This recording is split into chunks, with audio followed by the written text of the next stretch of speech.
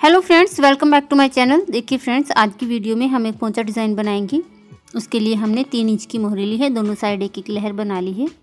और अब हम तीन तीन इंच के गैप में निशान लगाएँगे। अब इन निशानों को हम इस तरह से मिला लेंगे।